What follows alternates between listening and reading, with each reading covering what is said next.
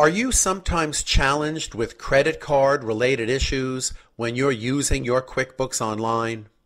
Well, then you should watch this video very clearly. I'm going to give you an overview of the ideas of credit card transactions.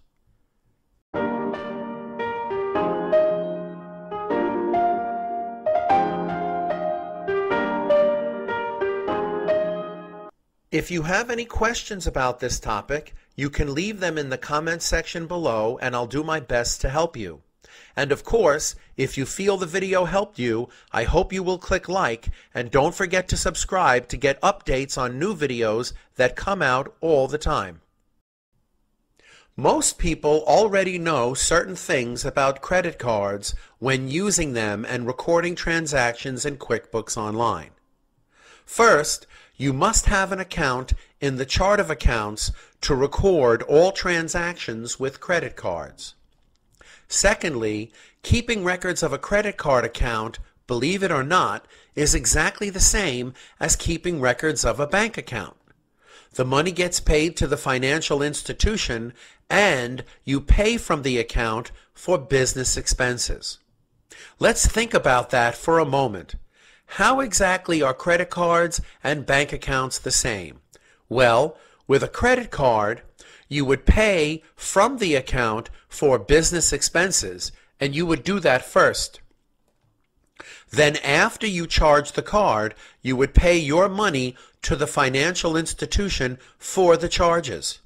A bank account is exactly the same, but in a bank account, first you would pay the financial institution your own money for the future charges to the account that you will have, and then you will pay from the bank account for business expenses.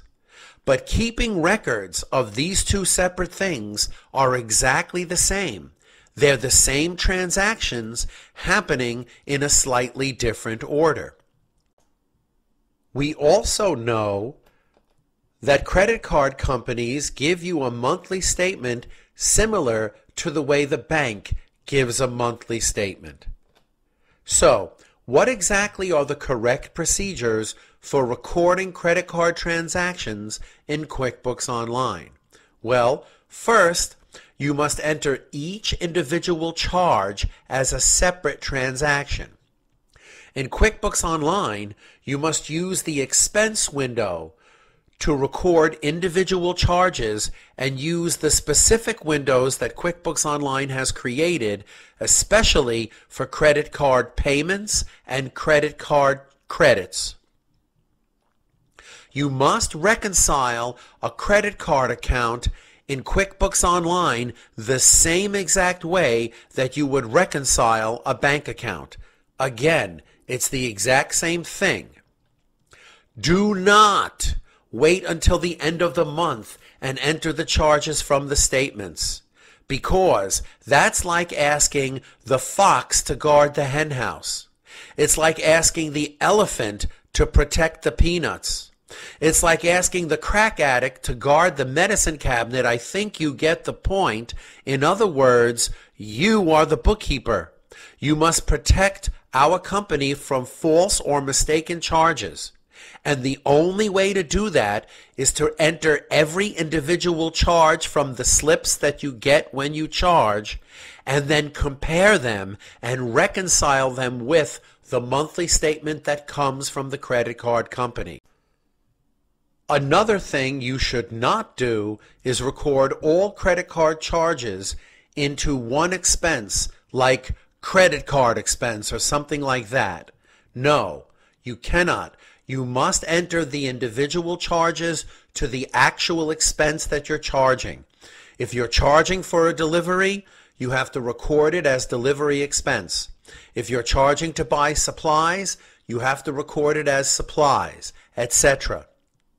You should also not Pay the credit card bill from the checks window and list each charge as a separate expense. You cannot do that. You must, you must use the specific designated windows that QuickBooks Online provides for entering a credit card credit and entering a credit card payment. And the last thing that you should not do is use the enter bills feature to enter the statement or anything that relates to the credit cards in the accounts payable section. The accounts payable section is a separate section from managing your credit cards. Let's add Capital One credit card to the chart of accounts. We know it's going to be a credit card type of account and then we're also going to add the name, Capital One, to the vendor list because even though a credit card company is not a vendor, we still have to pay them. So we put them on the vendor list because they are a payee. Let's take a look at how to add these two things.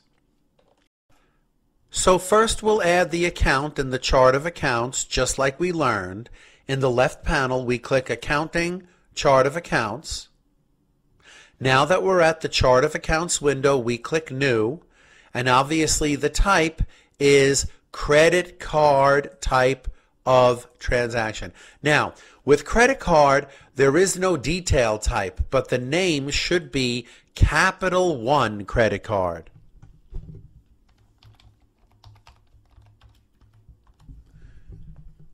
Then click Save and Close we now have an account in the chart of accounts to be able to record our credit card transactions.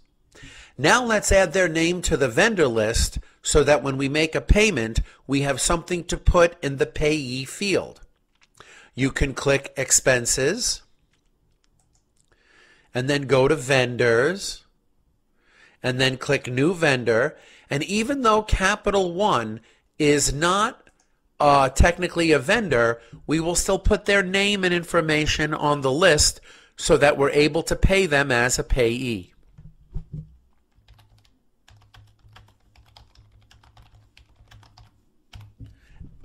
And we're finished. We are now set up and prepared to record credit card charges, credits, and payments.